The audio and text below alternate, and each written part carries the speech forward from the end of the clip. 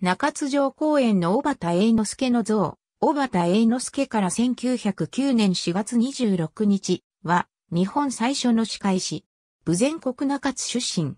中津藩公衆軍学士藩役、小畑孫兵衛の長男で、慶応義塾塾長となった小畑徳次郎の重帝。藩校、新治官に学び、15歳で元服して、反対法方に加わり長州戦争で初陣。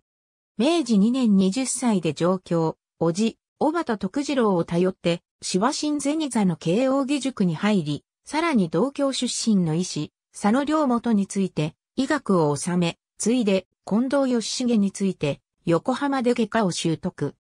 米国人歯科医師セントジョージ・エリオットから西洋式の最新歯科技術と知識を学び、1874年以生の交付の後、第1回目の医術開業試験に歯科として受験し合格した。このため、西洋歯科医学に基づく日本初の歯科医師と言われる。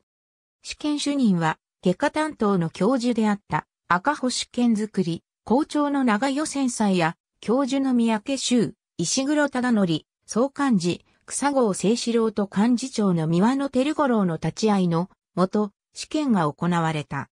この年の夏、東京府京橋区宇根目町で歯科診療所を開業し、日本人の体格に合った小畑式治療椅子を開発するなど、早々期の西洋歯科学の発展に大きな足跡を残している。1909年4月20日に永民。去年60歳。弟子に東京都歯科医師会創立者の伊沢道森がいる。ありがとうございます。